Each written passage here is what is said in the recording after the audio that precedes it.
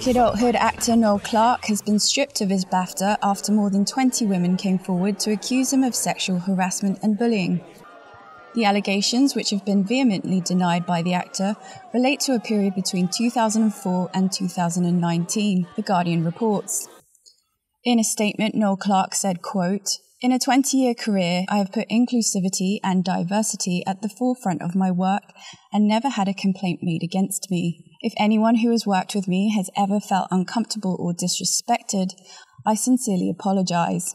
I vehemently deny any sexual misconduct or wrongdoing and intend to defend myself against these false allegations.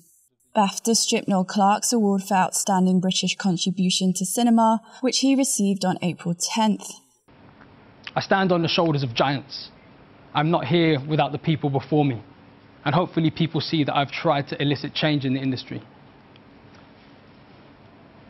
So this is for the underrepresented. Numerous women are reported to have broken their silence after the ceremony.